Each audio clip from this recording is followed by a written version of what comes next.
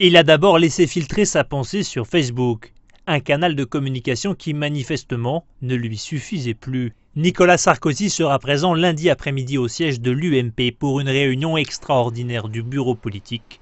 Au menu, l'avenir du parti. Après l'invalidation des comptes de sa dernière campagne présidentielle, l'UMP voit s'envoler un chèque de 11 millions d'euros. Beaucoup pour un parti qui, depuis le revers des dernières législatives où il a perdu 120 députés, a déjà vu la dotation de l'État fondre de 13 millions d'euros.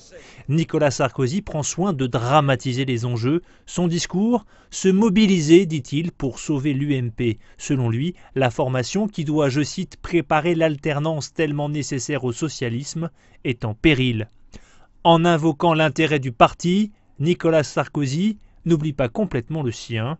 Avec ce retour au premier plan, il éclipse symboliquement ses dauphins, de Jean-François Copé à François Fillon en passant par Alain Juppé. Reste à savoir si l'appel au don fait par l'ex-chef de l'État pour renflouer les caisses du parti portera ses fruits et si oui, sous combien de temps? Un premier test qui pourrait ouvrir la voie à un comeback politique après une éclipse de courte durée.